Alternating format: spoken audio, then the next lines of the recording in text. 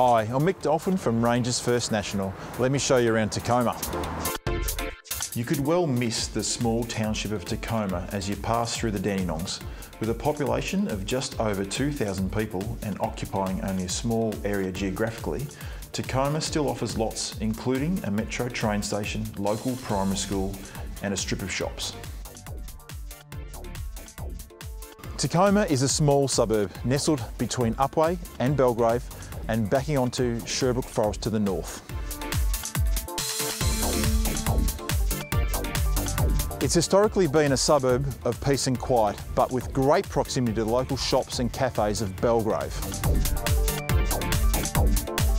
The suburb is named after a local bush called Tecoma, and when the need was identified for a station along here to service the mill that was originally on the side of the primary school, they decided to call the suburb Tecoma. To nab a house in Tecoma, you need to be really quick. It's a highly sought after area and not many homeowners sell.